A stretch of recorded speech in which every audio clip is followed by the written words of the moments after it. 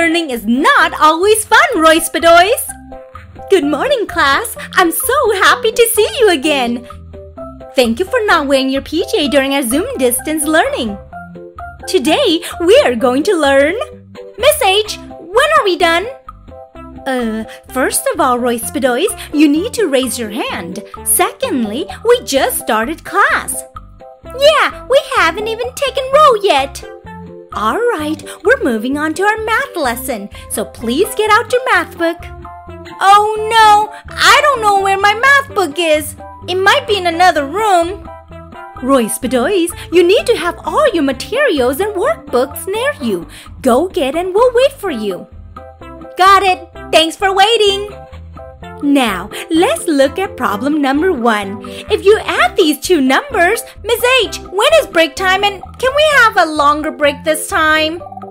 Roys Bedoys, break is scheduled at a certain time so that we can get work done. Yeah, we haven't even finished problem number one yet. Can we start yet? I need to know the answer. What is the answer?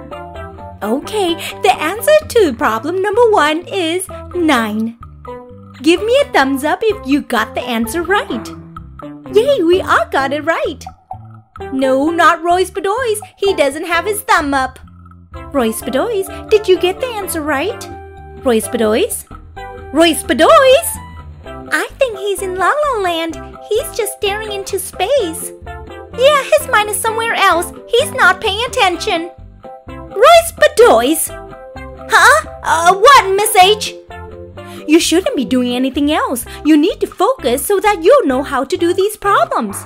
Okay, but can we do something fun? This is boring.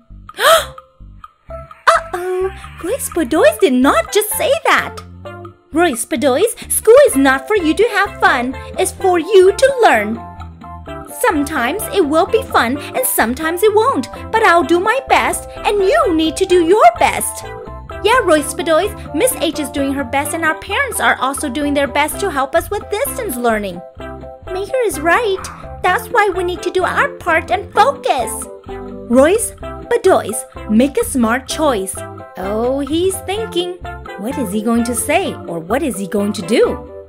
Mm, sorry, Miss H. Everybody is trying their best to make distance learning work, so I'll do my best from now on. I'm glad to hear that. Now let's finish problem number one. Do you know the answer, Roys Bedoys? Yep, nine. Good job, Roys Bedoys, for doing your best to make distance learning work. Hit like and subscribe for more videos. The end.